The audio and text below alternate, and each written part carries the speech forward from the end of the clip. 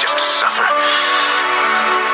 Every night, I can feel my leg, and my arm, even my fingers. The body I've lost. The comrades I've lost. Won't stop hurting.